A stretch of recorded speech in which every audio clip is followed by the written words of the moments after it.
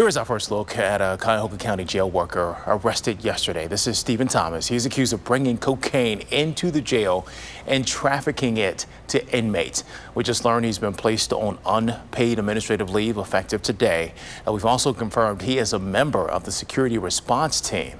We're going to find out when he will be in court.